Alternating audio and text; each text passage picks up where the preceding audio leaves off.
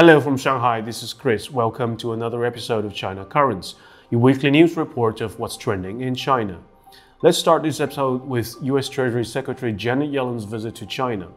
On Sunday, Chinese Premier Li Qiang met with US Treasury Secretary Janet Yellen in Beijing, where he urged the US to work with China to adhere to the basic norms of the market economy of fair competition and open cooperation and refrain from politicizing or overstretching this concept of national security regarding economic and trade issues.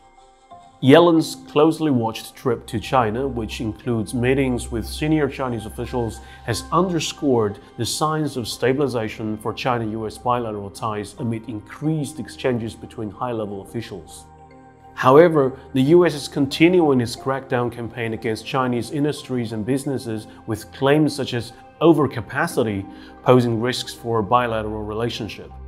During the meeting on Sunday morning, the Chinese premier said that under the strategic guidance of the two heads of state, China US relations are currently stabilizing, and China hopes the two countries can be partners rather than adversaries, with mutual respect, peaceful coexistence, and win win cooperation. Next up, when Yellen was in China, Chinese officials hit out at US and European accusations of overcapacity in China's electric vehicle industry, while Chinese experts believe that playing the overcapacity card shows the West's insecurity over China's competitive advantage.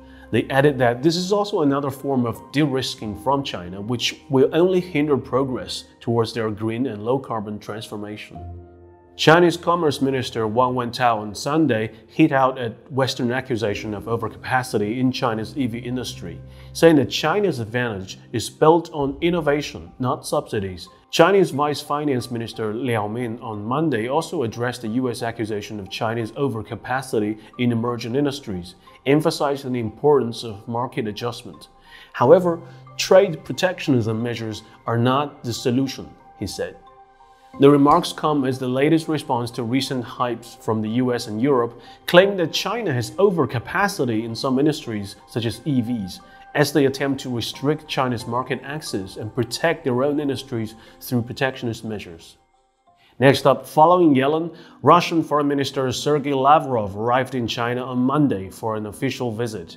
Many observers said that the China Russian Comprehensive Strategic Partnership will be further strengthened despite US pressure. At the invitation of Chinese Foreign Minister Wang Yi, who is also a member of the Politburo of the Communist Party of China Central Committee, the Russian top diplomat paid an official visit to China from Monday to Tuesday. Foreign Ministry spokesperson Mao Ning said at the routine press conference on Monday that the two sides will exchange views and coordinate stances on development of bilateral ties, cooperation in different fields, and international issues of shared common concern on the sidelines of the 75th anniversary of the establishment of China-Russia diplomatic relations. On Tuesday, Chinese President Xi Jinping met with Russian Foreign Minister Sergei Lavrov in Beijing. Chinese analysts said the meeting sends a strong signal that the China-Russia partnership continues to be key for the global strategic balance and a hope for promoting a multipolar world in which countries of the global south will have a greater role to play. Xi asked Lavrov to convey his sincere greetings to Russian President Vladimir Putin noting that this year marks the 75th anniversary of the establishment of diplomatic ties between the two countries. Xi said China and Russia have embarked on a new path of harmonious coexistence and win-win cooperation between major countries and neighbors, which has benefited the two countries and their peoples and contributed wisdom and strength to international fairness and justice. Next up, Chinese President Xi Jinping on Monday met with the chairman of the National Assembly of Vietnam, Vuong Dinh Hue, in Beijing. At the invitation of Zhao Leji, chairman of the National People's Congress Standing Committee, Hue is in China for a six-day official visit beginning on Sunday. The head of the assembly is officially among the four pillars of leadership in Vietnam, which has no paramount leader, noting that the pillars also include the party chief, the president, and the prime minister. While asking Vuong Dinh Hue to convey his cordial greetings to Nguyen Phu Trong, General Secretary of the Communist Party of Vietnam's Central Committee, Xi also said that during his visit to Vietnam at the end of last year, he and Nguyen Phu Trong jointly announced the building of a China-Vietnam community with a shared future that carries strategic significance, opening a new chapter in bilateral ties. Next up, on Wednesday, Xi Jinping, General Secretary of the Communist Party of China Central Committee, met with Ma Ying-jeou in Beijing. Compatriots from both sides of the Taiwan Straits belong to the same Chinese nation, Xi said. The over 5,000 year history of the Chinese nation saw successive generations of ancestors move and settle down in Taiwan, and people from across the strait fight side by side to recover the island from foreign invaders. People on both sides of the Taiwan Strait are all Chinese, Xi said. There are no knots that cannot be untied, no issues that cannot be discussed, and no force that can separate us. He said that the difference in systems does not alter the reality that both sides of the strait belong to the one China, and external interference cannot hold back the historical trend of national reunification. In a meeting, Ma said that upholding the 1992 consensus and opposing Taiwan independence are the common political foundation of the peaceful development of cross-strait relations. The meeting marks the second meeting between Xi and Ma after the two had a historical exchange in Singapore in 2015.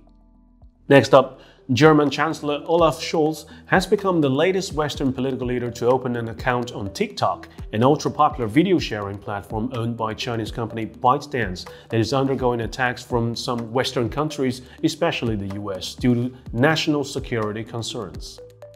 Analysts said the growing number of Western politicians opening TikTok accounts not only proves the vitality and competitiveness of the platform, but also shows the accusation that the app is a national security threat is untenable.